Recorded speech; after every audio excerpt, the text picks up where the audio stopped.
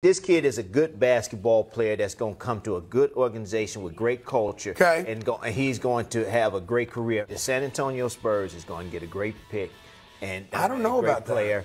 And, and they're going they going to believe me. He's going to be all right with San Antonio.